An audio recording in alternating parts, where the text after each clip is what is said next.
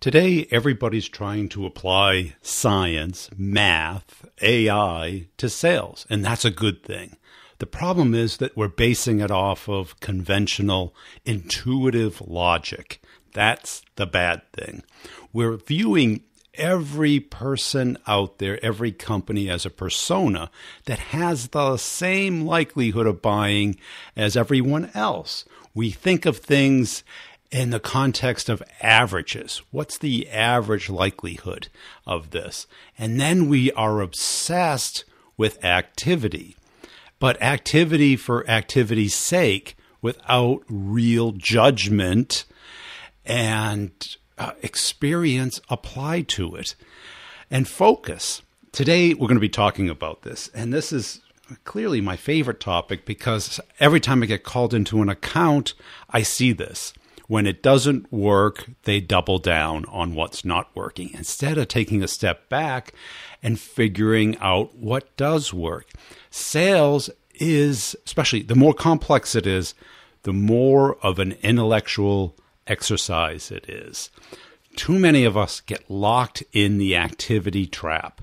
Now, activity alone works well when it, everything is equal, but that's rare. Maybe if you have a bunch of customers already and you're selling renewals or printer cartridges, then activity is great. It's hounding people, it's reminding people, it's expediting things. But that may be your case, but is that selling or is that servicing or proactively expediting? Most of us are trying to get into new accounts. We're trying to build big deals. We're trying to determine how to best spend our time. And that's judgment. That's knowledge. That comes from experience and evaluating and thinking which we really don't get to do in sales because that's not a KPI. We can't measure quality, we can only measure quantity. And this is killing us. And I really want you to pass this episode on to your manager because we're going to be focusing on the 80 20 rule. now, I know you're going to say to yourself, I know what that is. That's not the problem. The problem isn't you knowing what it is. The problem is you applying it to what you do. Because knowing it uh, kind of uh, almost hurts you because you think you've got it. You think you have it. You think you understand it and you're applying it. But look at your day. Look at the number of hours you have. Let's say you have you know a 10 hour workday on your own. You decide that. Let's just use that for math. 20% or 2 hours will generate 80% of the results, the outcome. Now it also works recursively, and we'll get into this in the interview. And I'll sum up the, the math part at the end, but it's, it's really not that difficult. Don't let the math get in the way of the logic. Because if you understand this and you accept it and then you apply it, that you really think through your deals. If I have 10 deals, uh, two of them are going to generate 80% of the revenue and then you divide it or you apply it again to the 20% that generate the 80% and on recursive down and down and down and then all of a sudden you'll understand how you should allocate your time your energy and your resources too many of us react to what either our manager tells us to do our customers tell us to do whatever happens to be going on the hottest thing right now and that's human nature that's not uh, stupidity. That is intuitive behavior. And it is the rare person that really applies this. And this is why I've always thought that lazy salespeople do better in sales. Why? Because they're not going to waste their time. They're going to judge and determine what is most likely to close based off of a pattern. And, and this is intelligence instead of the 10x thing, and I got into this debate with somebody on LinkedIn, and I go, eh, the 10x is it's what I call chum for idiots, meaning that it encourages you to do a lot of activity without really focusing on what the outcome is. And they say, well, you could do it 10 times smarter. And it's like, are you really going to do something 10 times smarter? How about focusing on the 20% and then the 20% of that? Come bring boil it down to the one thing, then the, the second thing, and don't get to the second thing until you've done the one thing. Why does this work? Because you're, you're basically constantly betting our time, whether you admit it or not. Your manager might be betting your time, but they're not really thinking. They're assuming that those 50 calls a day are all A level calls. But if you did triage on them, if you analyze them to determine which ones are worth the time, and if they're worth the time, would you invest the time in them? Do the research. Find out what they really care about. Of course, we don't do that. Why? Because it takes all day to do 50 calls. And it, it, becomes this insanity that we see happening. And this has been happening in marketing all along, uh, not until recently where people are applying uh, technology and focus into account based marketing, where people really analyzing the market and like who are we really going after. And I bet nine times out of 10, and I got a, a podcast coming about this on the B2B revenue leadership show about it, is that people pick too high typically, too many, almost always, uh, too long term deals, not within the window of the comp plan. And what we're missing is the analytical part.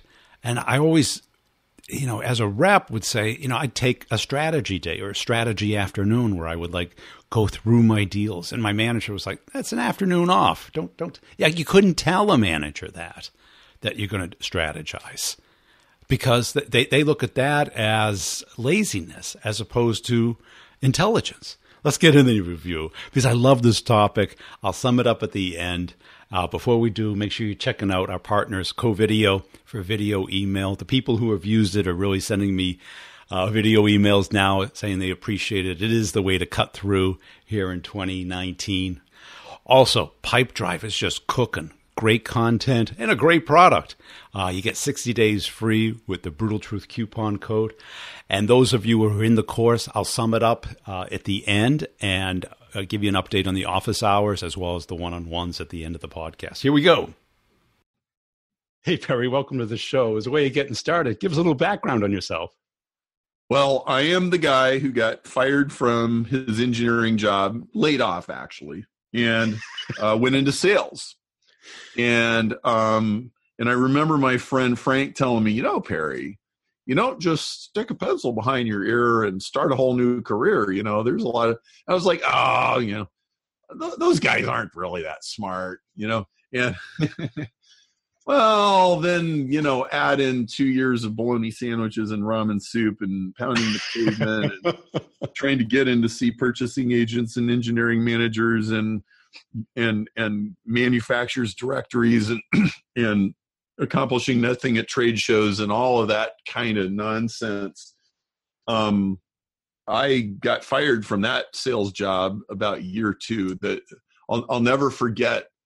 I walked in the door of my house after i got fired and my wife looks up and she goes you got fired. Now, how she knew that?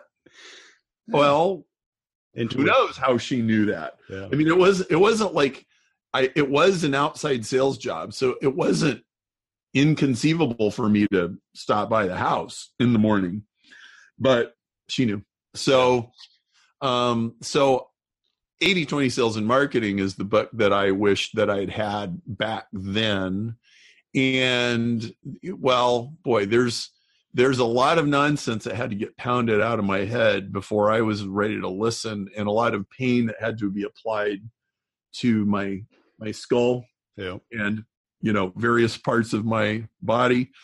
Um, so, um, you know, so so what happened? The the next job I got was actually a much better fit, and um, and this was in 1997, and they had a website and they sold nationwide and engineers were already starting to use the internet fairly seriously in their jobs and without fully realizing it at the time um, I was being welcomed into the world of online marketing, and um, and four years later, we we we had grown that part of the company two thousand percent and sold it for eighteen million dollars to a public company, and I parachuted out with some stock options, and I said to myself, "Hmm, I wonder what would happen if I actually got good at this," yeah. because I knew that in the land of the blind, the man with one eye gets to be king and I knew that selling industrial automation hardware was the land of the blind. Yeah. And I could certainly make a living there, you know, but again, what if I got really good? You know, I would say my by my standards now, my skill set then was maybe a four or a five on a scale of one to 10. And I was in a market that was a three or a four on a scale of how much potential it really had. Yeah. Well, what happens if you're a seven skill set in a seven level opportunity? Or what happens if you're a nine skill set in a nine level opportunity?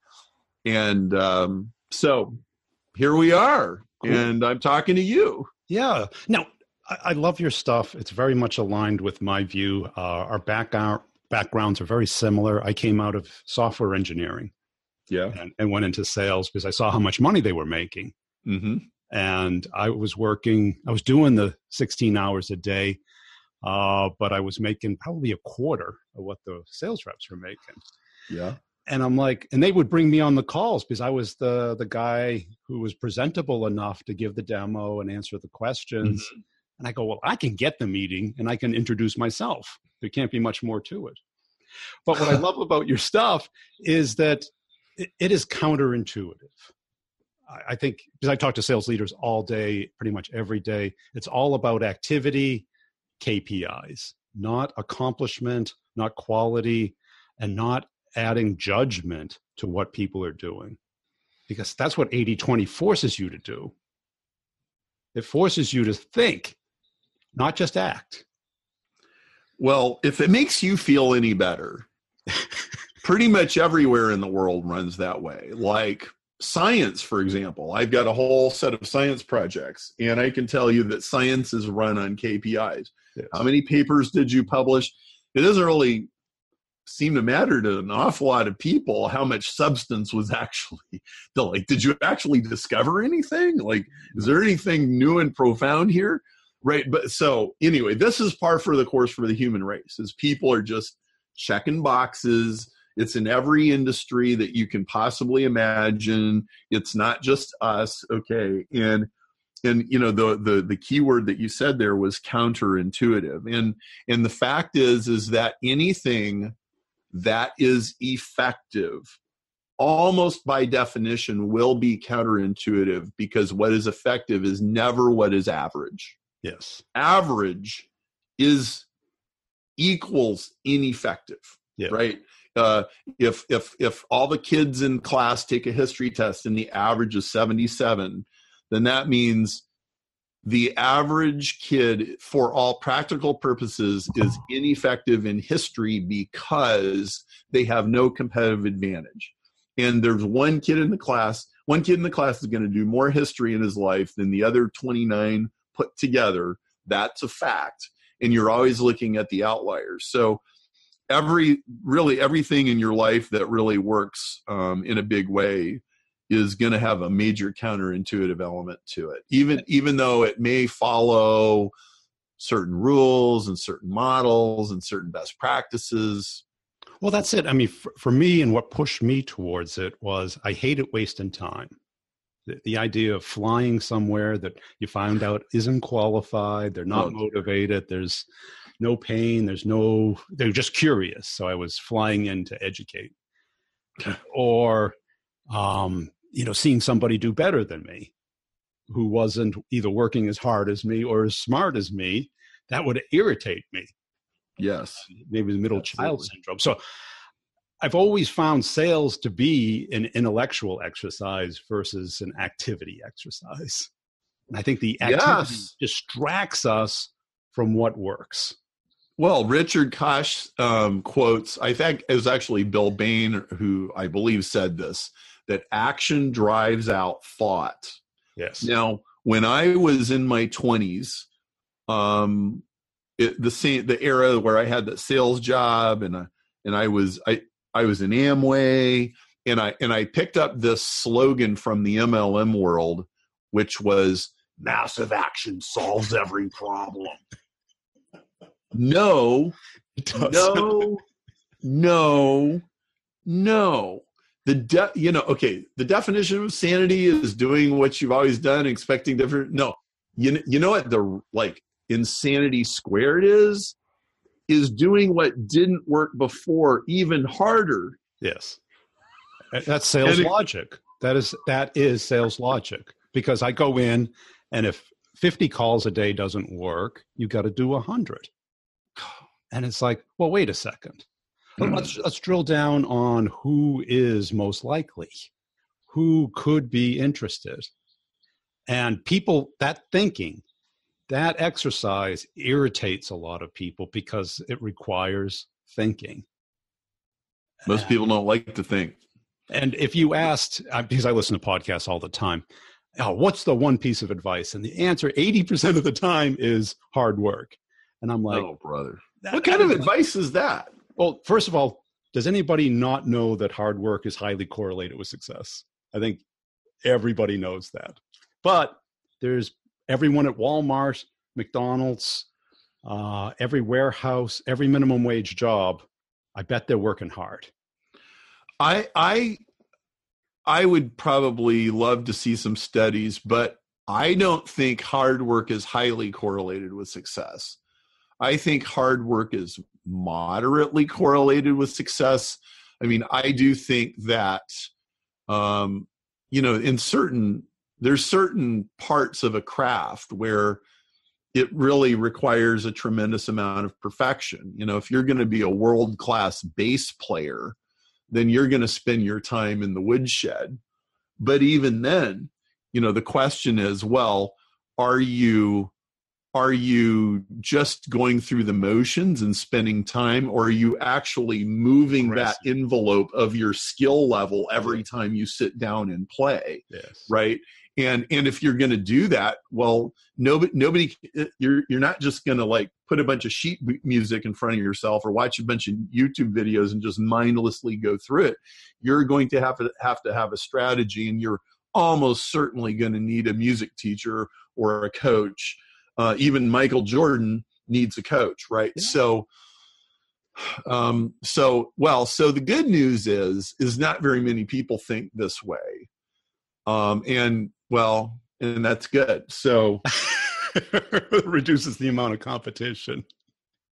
80 20 is like black belts. It's like there's first degree, second degree, third degree, and every all the way to ninth. And every step you're you're doing yet another thing that is counterintuitive, yet another thing that is completely countercultural. comfort zone. And well, I mean, that's how people become billionaires. I, have never met a, a, billionaire that thinks in a conventional fashion. No, so. I, I, think the problem with it is people think it's enough to know of it versus oh heavens it. You, you need to you you need to have 80 20 in your bones and in, in your in your muscle memory but you also need an intellectual understanding of what it actually is so the first time that I remember applying 80 20 to a business situation. I, I, it was in the software company that got sold. Um, and I was reading in some book and it said 20% of your customers produce 80% of your sales and, and, and vice versa. And, and I thought, is that true? And I printed out a QuickBooks report and I got out my calculator and I went down from top to bottom and I was like, I'll be darned. When I got 20% of the way down, it was 80% of the money. And I I had this kind of vague realization that there was this guy named Dimitri who would call me up every few months and basically waste my time and he would only spend about three to five thousand dollars a year and he would bust my balls about features we didn't have and all this kind of stuff and and i realized that I should probably just tell him to go buy from the competition and be done with the guy because time would be better spent with these other people.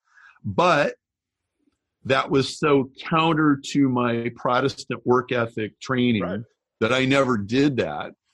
Um, and and so the meaning of 80 20 so then i just went on right? And kind of ignored it. But but the the the when things kicked in was i read richard koch's book the 80 20 principle which somebody urged me like you've got to read this book. And i read this book.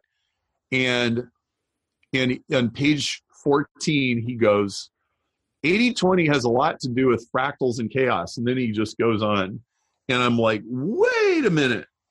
Fractals and chaos is when you have patterns within patterns within patterns within patterns. Like a tree has a branching pattern all the way from 100 feet down to microscopic on a leaf. There's the branching, branching. And I was like, wait a minute. Is he actually suggesting? I think what that would mean is that there's an 80 20 inside the 80 20 and then another one and another one and it, it it could go on almost infinitely and i was like what is that? And i jumped up out of the coffee shop and i ran home and i, I my my business was a year and a half old okay? And when your business is a year and a half old think about how much data you've accumulated which is some but not much Yeah. right? How many sales and the customers and the clients and all the stuff and so i had a few clients and and then i was also i was sending out these audio cds and i was driving traffic to my website it was all very nascent and and stuff. And and i i I, I had all these papers and reports and a calculator and I'm in the living room and I'm and I'm just having this like orgasmic epiphany like oh my goodness like I could literally predict like if I'd known 80 20 a year ago, I could have predicted what was going to happen this year. I wouldn't have known where it was going to happen, but oh, I, I would know what happened. I would know how big it's going to be and all this stuff. And I'm like, oh my word. And and now what it also meant, it also meant that 80 20 was a law of nature it wasn't just this thing that a certain group of business people or economics people happen to find handy okay? It is a it is a universal law of cause and effect like gravity. It's Yeah. just more abstract than gravity. It's less obvious but it's just as true.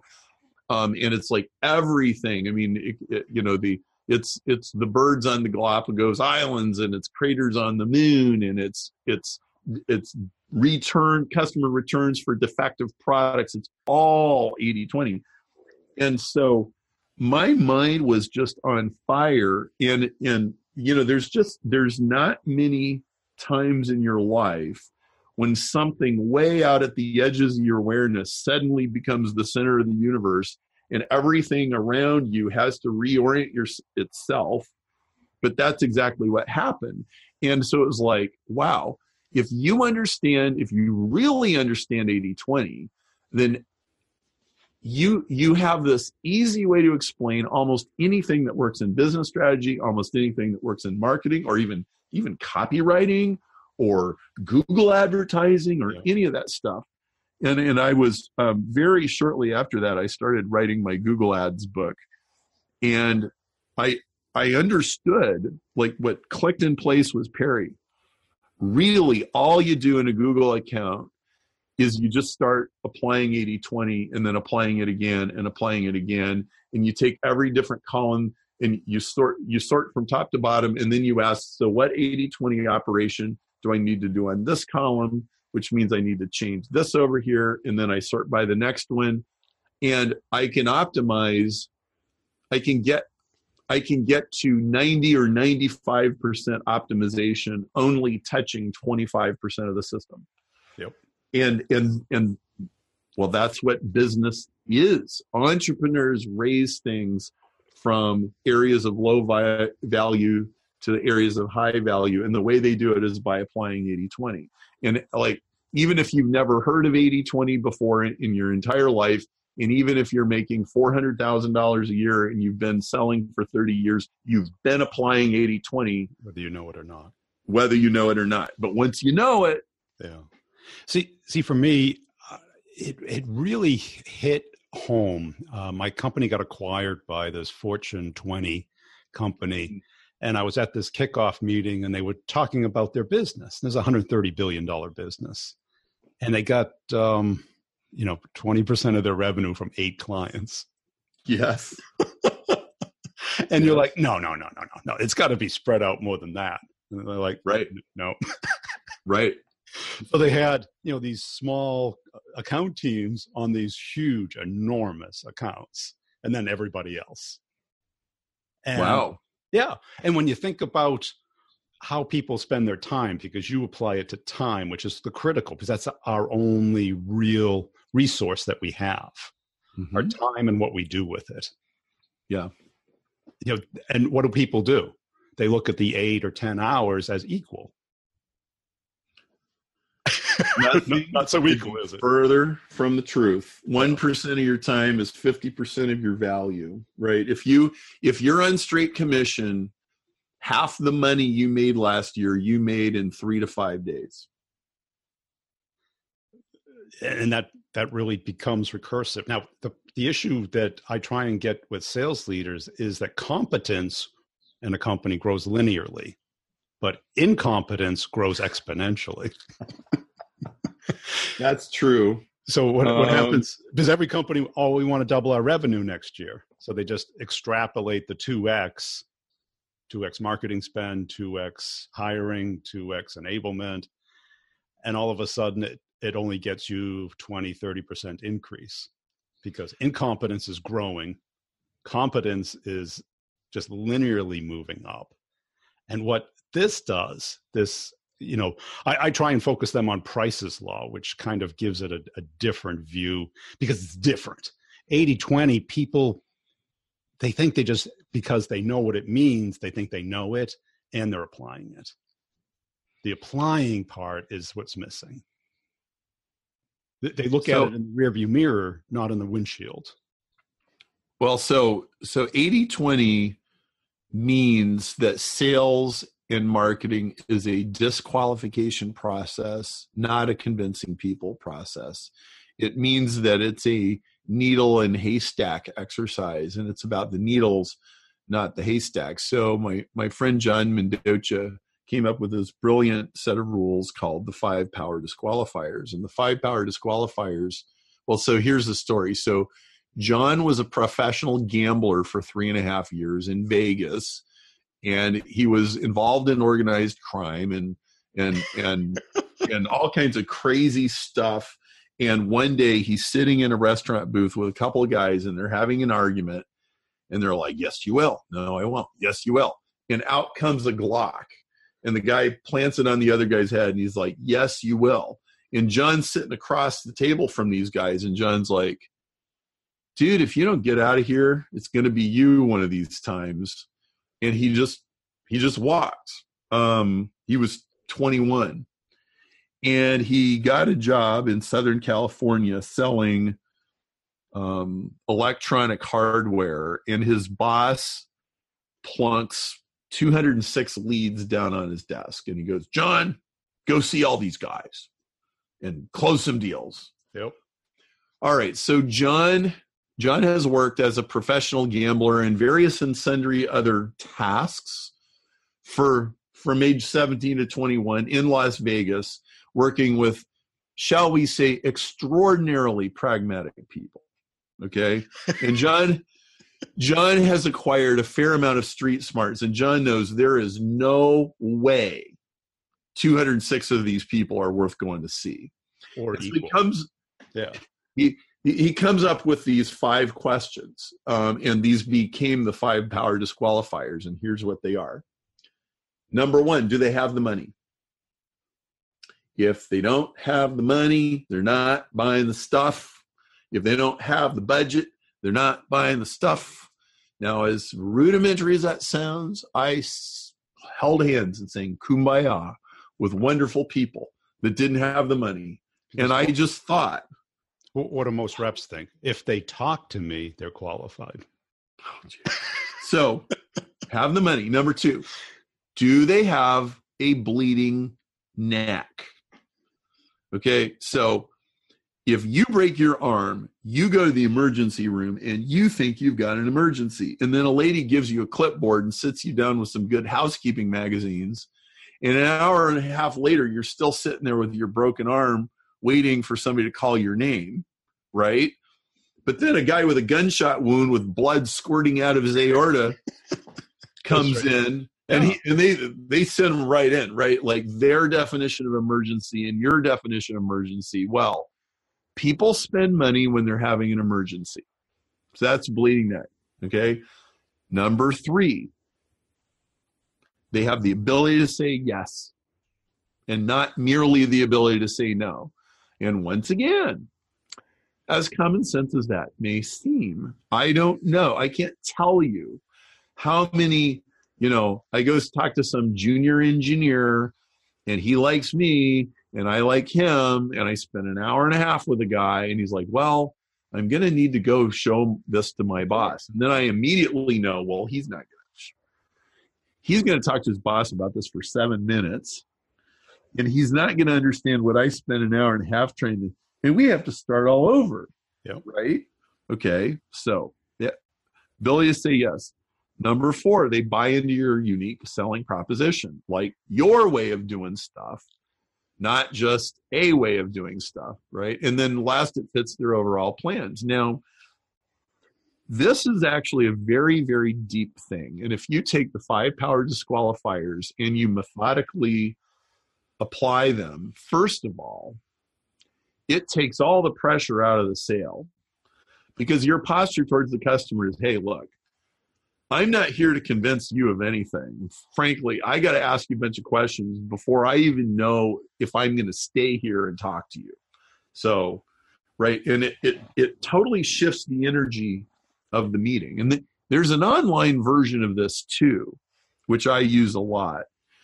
Um, and it's it's a it's like it's giving a quiz. So, for example, we've got a quiz called isfacebookforme.com. We got a quiz called is AdWords is Google AdWords for me.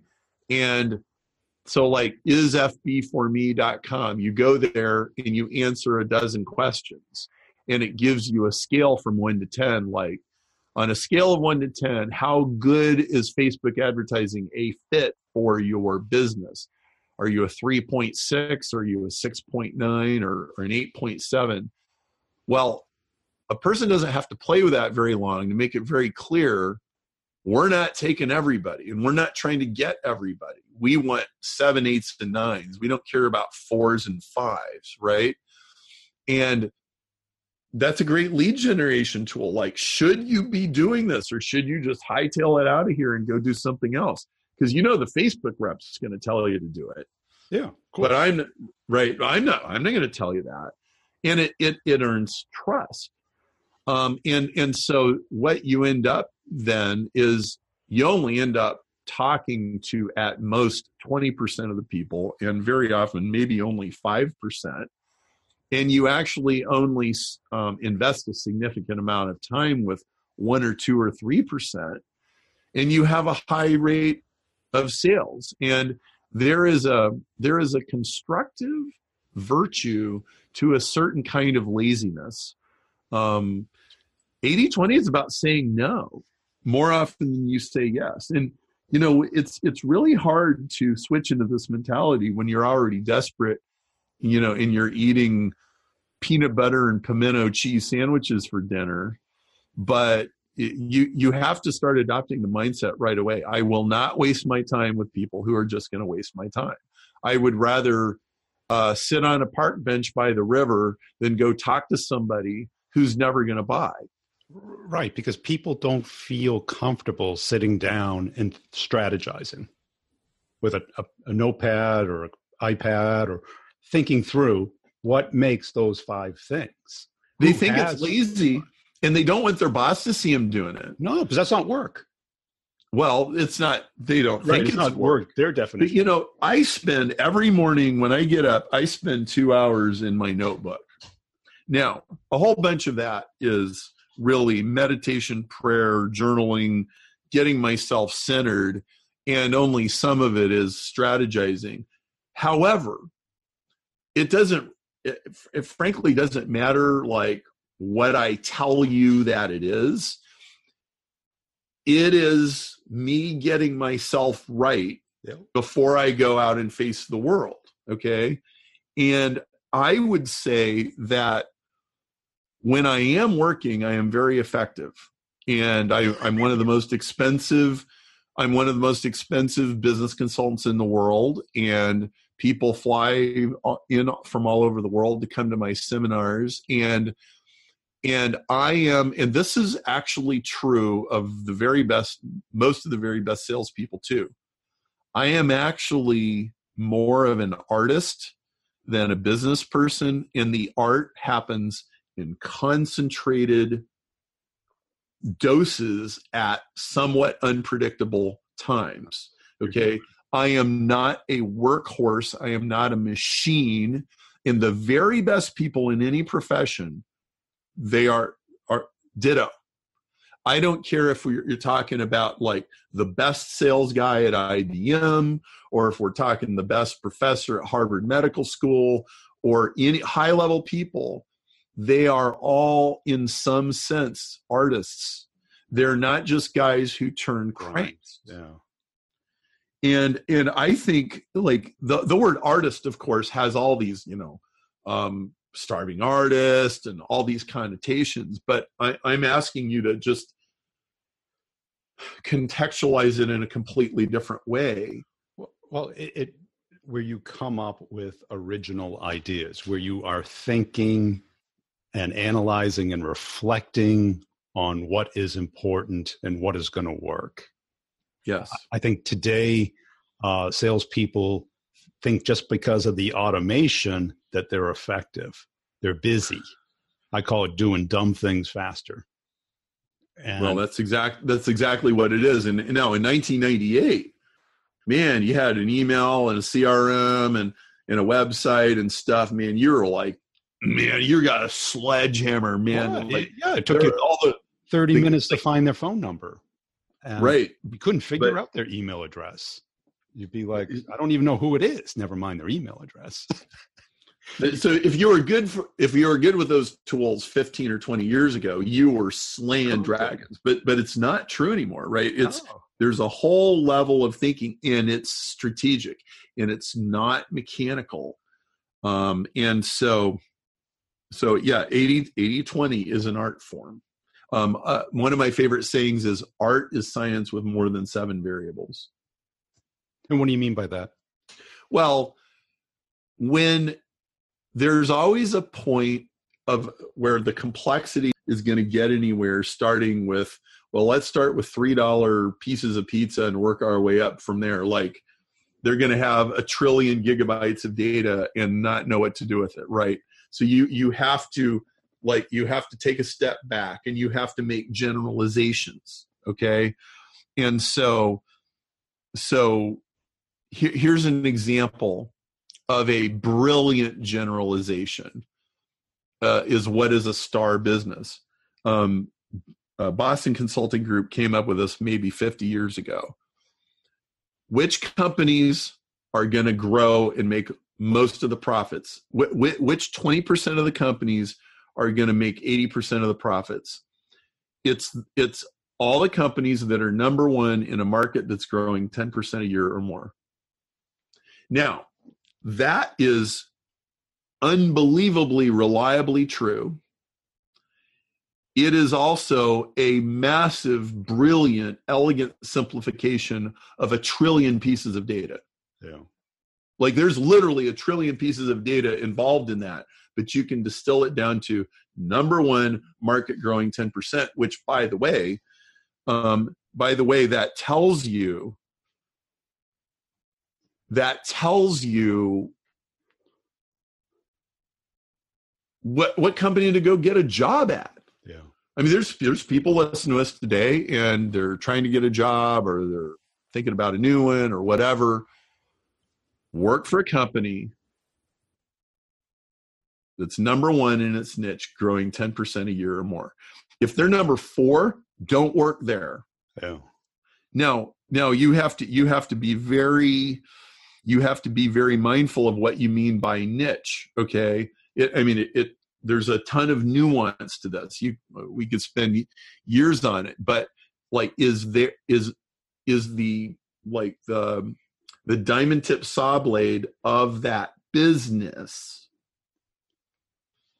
is the diamond tip saw blade um a like okay let's use cars for example let's use cars 10 or 12 years ago for example um everybody has a car but only a few manufacturers have a car with an iPod station in it. Okay. Well, you're not number one in the car market, but you're number one in cars with with iPhone plugins. Yeah. Then you're you're completely differentiated on this one point, and you're number one in in the market of people who want an iPhone station in in their car. That's that's what I need, and and well you and you're going to have to understand the company's business in order to make that judgment and you're going to have to ask them some very smart questions in order to understand that because if you're just looking at their website or you heard about it on monster.com or something you're not going to know and everybody's going to tell you oh we're number one in this and number one in that but if but if you really find out right. well now guess what going to instead of and, and notice yeah. notice what happens when you do that you're disqualifying them Yes. You're not trying to sell them. They're like, like, well, this, you know, we we had all these applicants, and they uh, uh, they asked us all these questions, or we asked them all these questions. But I had one guy that just pummeled us with questions. Yeah. Right. Well, that's like a whole switch the game, whole different deal. Take, give control or take. And control. if they if they don't like guys that ask questions, you don't want to work there. Yeah.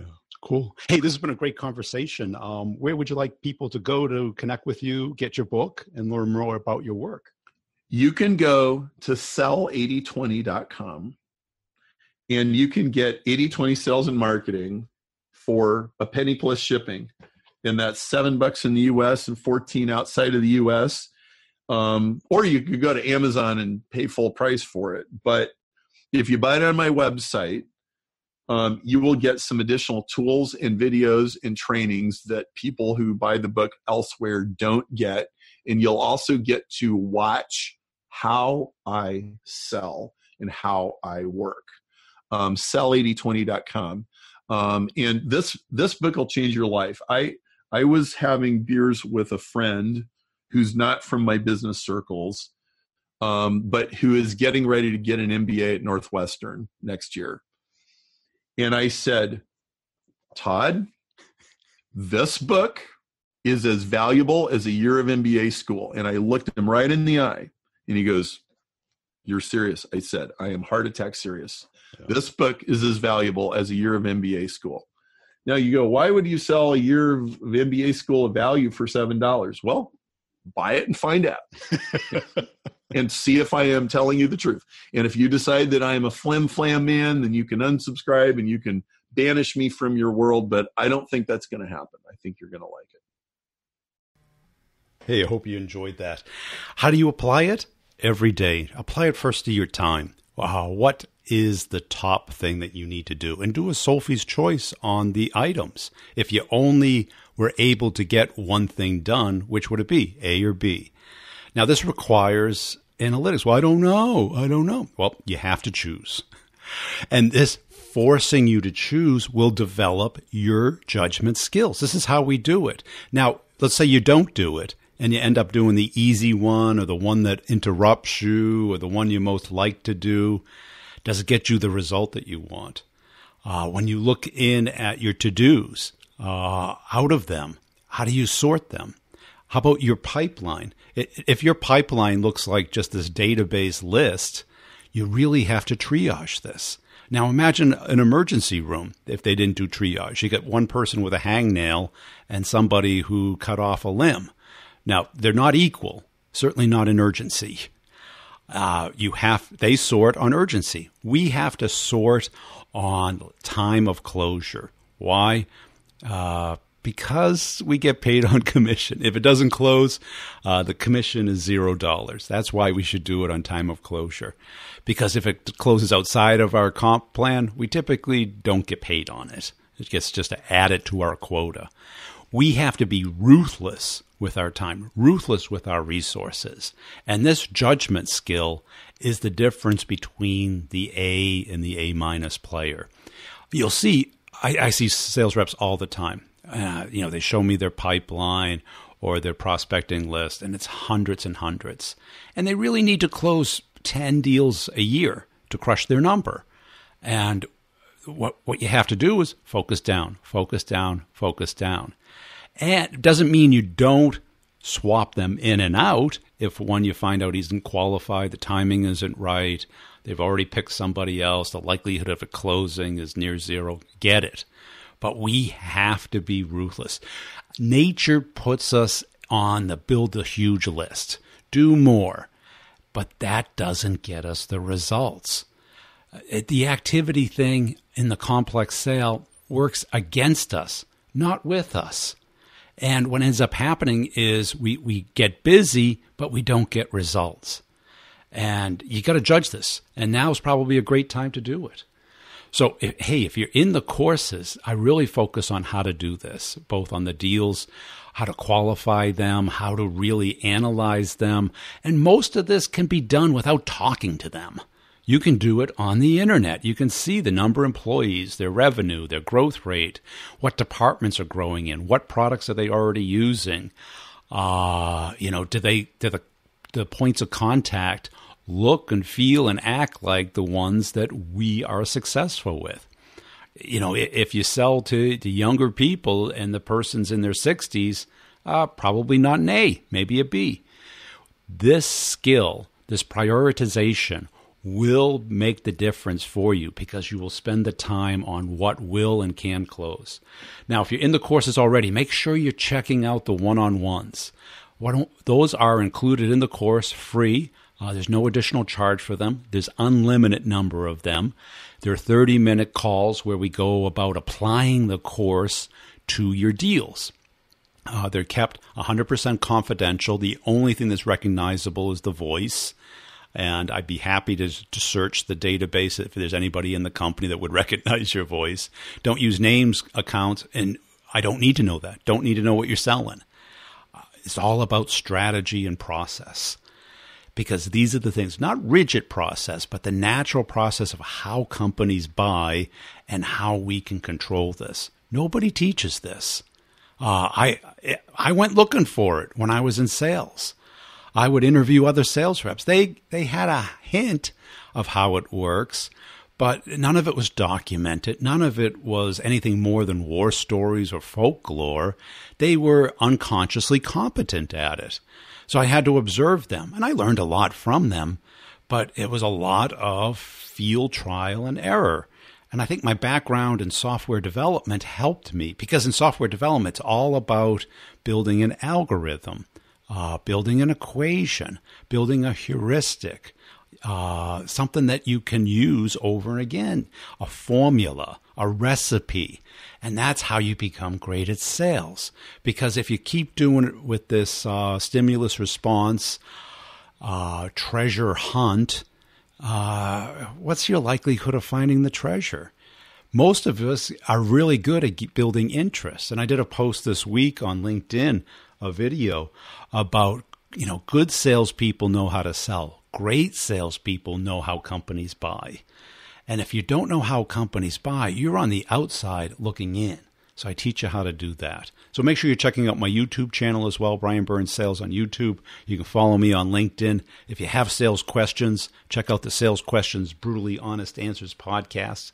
Cooking there. Appreciate you listening. Tell a friend about the Brutal Truth About Sales and Selling podcast. We'll see you next time.